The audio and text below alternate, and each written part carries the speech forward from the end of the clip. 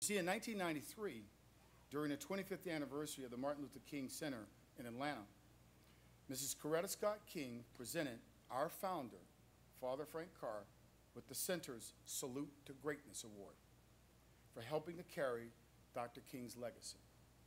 You see, others to receive that award has been Hillary Clinton, Oprah Winfrey, Maya Angelou, Ted Kennedy, and Frank Carr. So understand the real legacy of what came out of that meeting in March in Washington. The award sits in my office as a reminder of leaders like Frank Carr, but also like Maria Morris. And I want to thank her for being there where we are and helping us today. Tonight, I present to you the legacy of the dream on behalf of our founder, the dreamer. We recognize a leader that exemplifies that vision has been fulfilled. It is my honor and my pleasure to present Inroads 2013 Visionary Leadership Award to Maria Morris. Maria.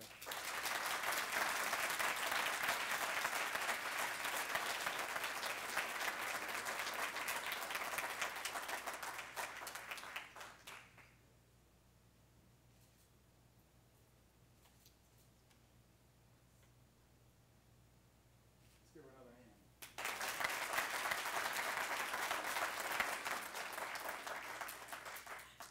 Thank you so much, Forrest. I couldn't look at you either.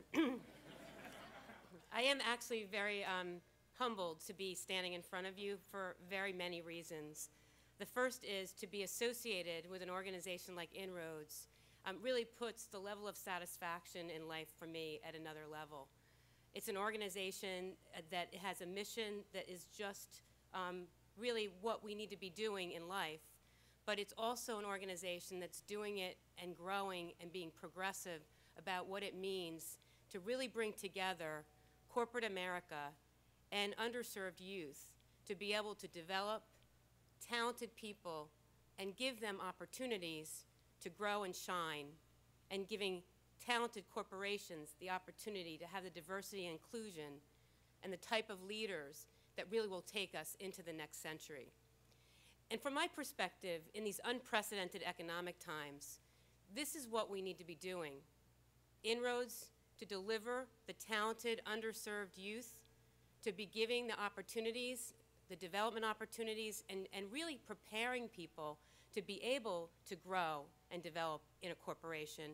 And for the corporations to have the type of diversity and inclusion focus, to understand the power of having different types of people with different backgrounds and different ways of thinking to be able to help corporate America, governments, nonprofits grow in the future. So I have to say, I, I want to thank UTC and also congratulate UTC. I think you share what MetLife shares, which is a real understanding of the power of Inroads. And what you've done is truly, um, I'd say, one of the best practices out there with over 3,000 interns over the, choice, the, the course of your relationship but also the legacy that people that you, we heard from, William and Curtis, have not only for your corporation, but for other Inroads to come and other inroads alum. And I say congratulations to the two of you and congratulations to UTC.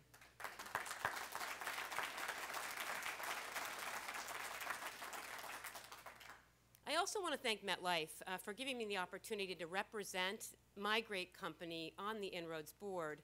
I actually joined the board about six years ago. I've been the chair for about three and a half years. And actually, when I first joined, um, I was very excited about it because my personal passion is to work with young people who have talent and connect them to the future. What I probably didn't recognize uh, when joining the board was just the unbelievable level of commitment of the staff, the passion of Forrest, the passion of the team here that you've met, but also the unbelievable commitment of the corporations that also are the other part of this partnership. And I have come to have a true respect for the people in this room, certainly my MetLife colleagues, but also the other corporations that are here that actually are committed not just to getting diverse talent into the organization, but to building communities, building leaders, breaking the code about what's possible for people. And so for all of you corporations in the room, I want to say thank you. It means a lot to Inroads to have the kind of respect and the talent in this room that's going to take us to the next level.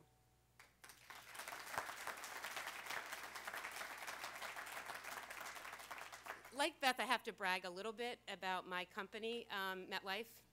Um, I'm proud to be a, a MetLifer. I've been with MetLife for 28 years. I'm probably similar to the inroaders in this room, being a woman professional, um, being in the C-suite, one of two women on our C-suite. And MetLife is the kind of company that invests in the development of people. We've had, from an inroads perspective, over 2,000 interns uh, since 1990 when we first started this relationship. And similar to UTC, started with eight interns, and it's grown into you know, many years, hundreds of interns, to the point where we now have me and iRise with over 100 people, inroads alumni, that every day are giving back to their community, giving back to the development of other young leaders in our organization, and really are serving as a way to attract and retain new diverse talent because they know the commitment that MetLife has to inroaders and to diverse talent moving up into the organization. And I also just want to thank Daryl uh, and Gina for representing our iRise organization. Um, Daryl I know quite well. I had responsibility for technology and operations at MetLife, and Daryl is one of our best senior infrastructure executives. He's phenomenal, and he's always behind the scenes. And I just think that Inroads gave him the courage to get up here tonight to do public speaking, which he does not do.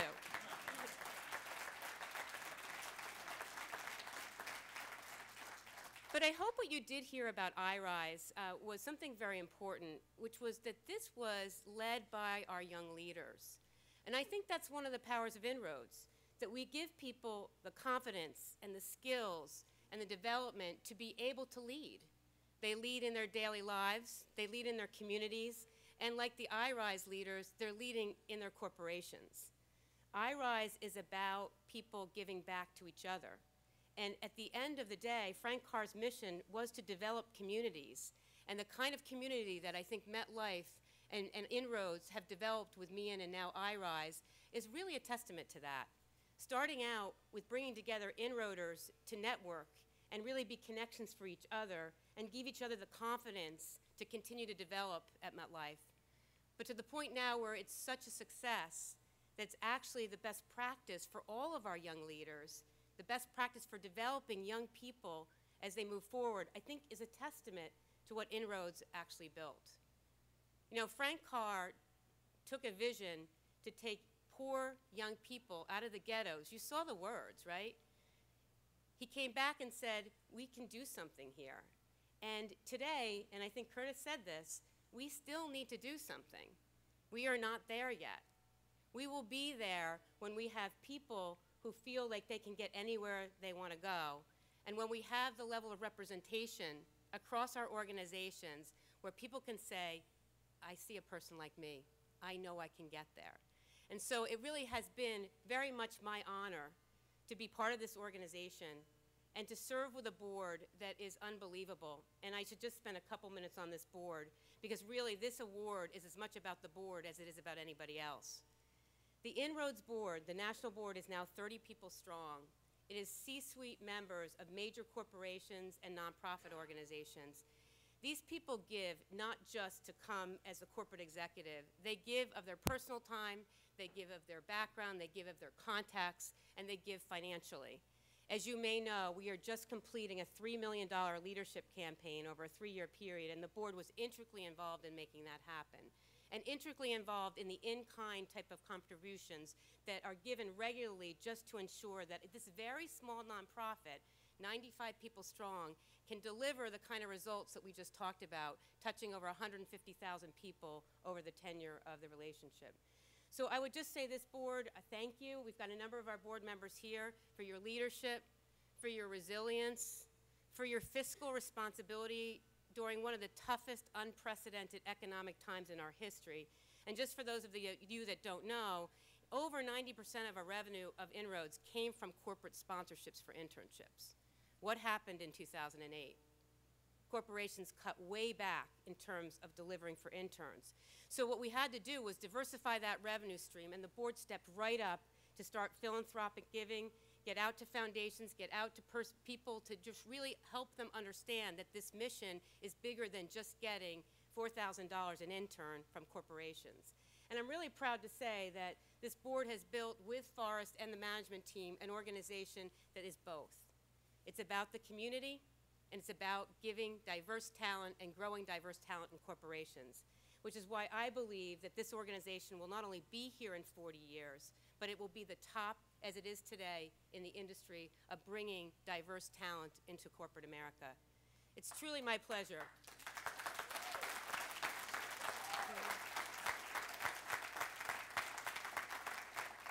It's truly my pleasure to share this uh, with everybody in this room. And specifically, it's truly my pleasure to share it with my MetLife colleagues who are here to support us. Because at the end of the day, we make this happen. And I just have one ask of you, which is if you believe what we are doing is appropriate and right, then please give. And I'm not just talking money, I'm talking your time, I'm talking your focus, I'm talking all of your connections to be able to continue to build what we've built here today. So thank you very much.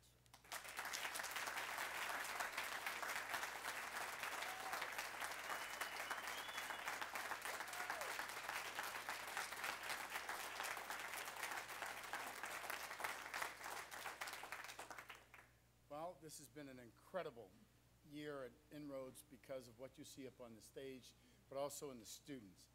And I know we have a, a couple of students here tonight. They're in between classes, but if they're here, uh, any of our students here tonight, would you please stand?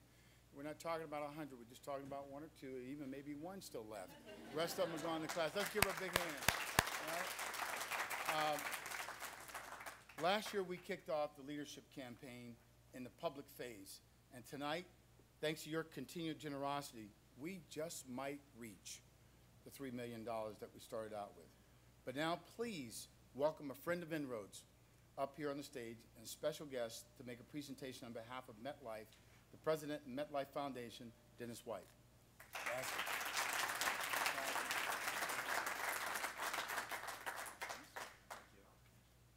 Thank you, Forrest. Thank you. Um, uh, It's tough act to follow here, but, but I'll try. Um, First, I'd like to uh, congratulate my colleagues at MetLife. Maria, congratulations on that great award, it's much deserved. Maria's a, a valued member of the MetLife Foundation Board in addition to all her other responsibilities, so thanks for your work there. And thanks to my other colleagues, congratulations uh, to the uh, members and supporters of the alumni, uh, MetLife Alumni Inroads Network and the iRise. So it sounds like great work ahead, and, and thank you and congratulations. Uh, across MetLife, we share a commitment to Inroads' uh, mission of uh, developing and sustaining diverse talent uh, to take leadership roles in corporations and in our communities. Uh, last year, we were fortunate enough to make a contribution to the leadership campaign on Founders Day for $200,000 to support the uh,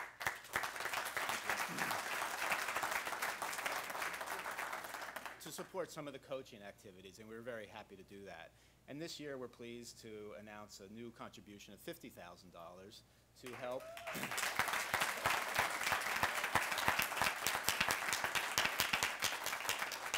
to help establish a virtual uh, mentoring program between uh, Inroads alum and current interns. I think that'd be a great program, and we are certainly pleased to do it. So please uh, accept this contribution for all the great work, Gatsby and and Forrest, for all the great work uh, that Inroads does, and accept it please on behalf of MetLife Foundation.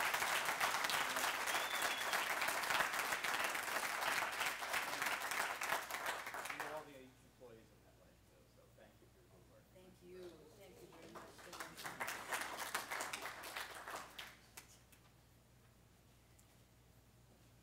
I'm gonna put that back up. If I change the font size, will there be more zeros? Uh, We're, we're always thinking ahead, Dennis. Thank you very much. It. We really do appreciate it.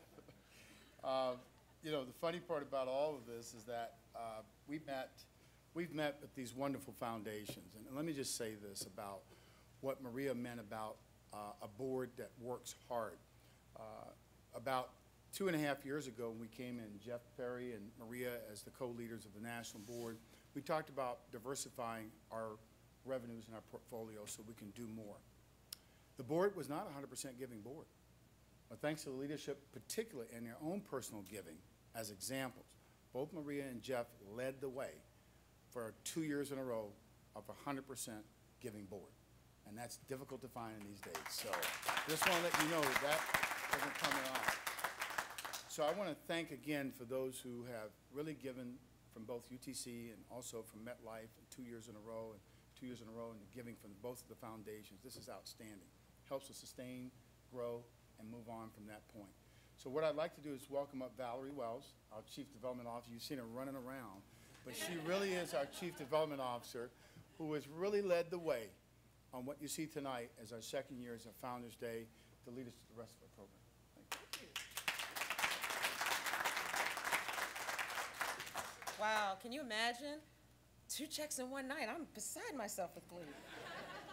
Um, but I have to admit that without the assistance of my able partner, who I'm going to invite to join me, um,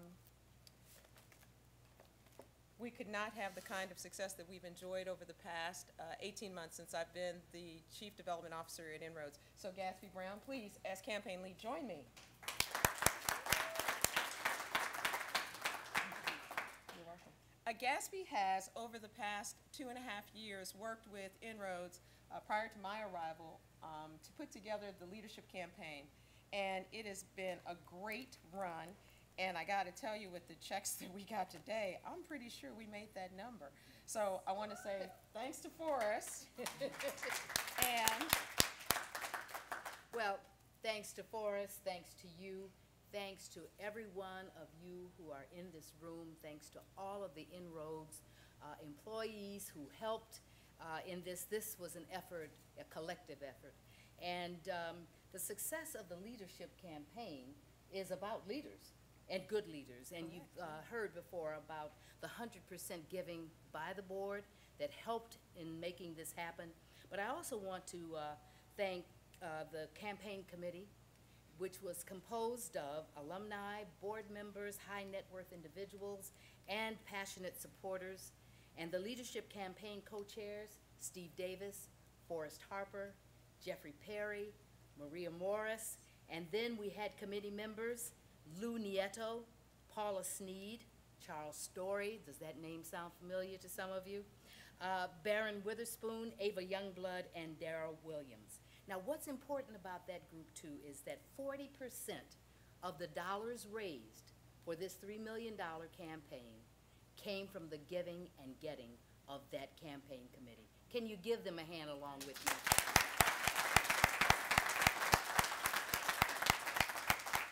And in addition to that committee, of course, we would never have been able to accomplish our goal without the wonderful, generous spirit of our corporate partners like UTC, um, MetLife, and the foundations that have made this work very possible for us. We are particularly thankful for all of the alumni, like Jeff Perry, and like uh, Daryl Williams, and like uh, Steve Davis, who've all given of their time as well as their treasure to support this effort. And even after we've reached our goal, we're hoping that if what we've done today has moved you, that you will continue to give to support the Inroads mission. Well, the campaign supporters are in the program booklet, and if you have already given, your name is in this booklet. But for those of you who haven't given yet, you have a chance for your name to go into the next booklet. And so we want to include you as tr- contributors. Inroads is a really, really good steward of uh, its resources and also the supporters uh, that give to them. And to make sure that you do give, inside of each of your booklets, you will find a remittance envelope. And that, we believe, will help you to expedite your gifts forward. So thanks so much.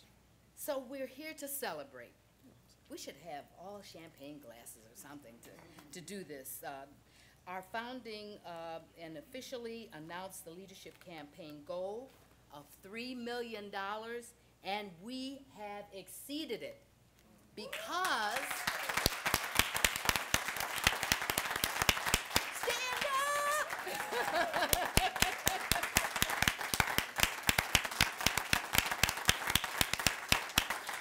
Thank you, thank you, thank you. And we have exceeded it because of the generous contributions of MetLife and UTC. So thank you, thank you, thank you for celebrating along with us. Um, now, on behalf of all of the Inroads interns, all of the Inroads alumni, all of the campaign committee members and the staff, we would really like to express our heartfelt thanks um, to UTC as our underwriter for this evening, and along with MetLife for all of their awesome support throughout these past few years.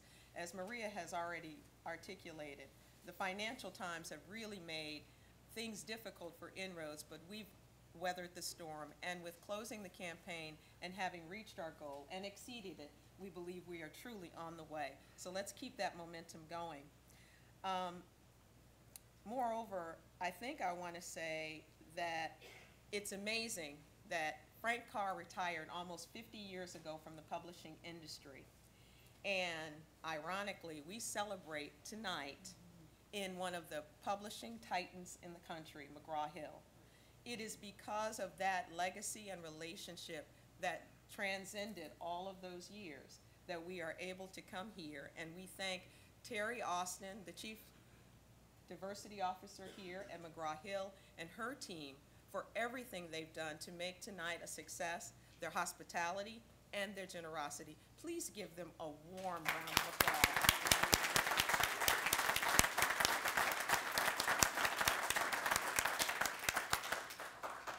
So we're going to ask you tonight to spread the word that Inroads is on the move, is it not? Yes, it's on the move.